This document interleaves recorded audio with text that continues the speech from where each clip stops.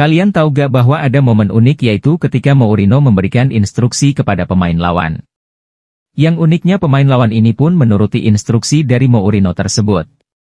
Nah momen unik ini terjadi pada Liga Champions musim 2012-2013 ketika Mourinho melatih Real Madrid di Liga Champions melawan klub Bundesliga Borussia Dortmund di Santiago Bernabeu. Waktu itu, Madrid ketinggalan dengan skor 1-2.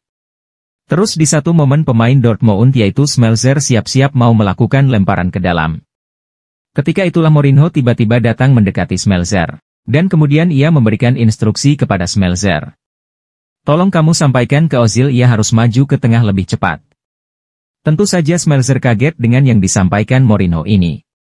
Dalam sebuah interview Smelzer menceritakan bahwa di awal ia tidak mempedulikan instruksi dari The Special One tersebut.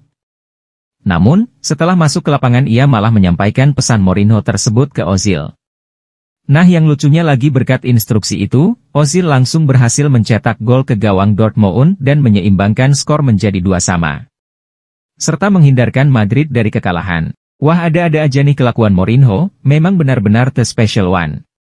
Menurut kamu momen apa yang paling kamu ingat dari Mourinho ini? Silakan tulis di kolom komentar.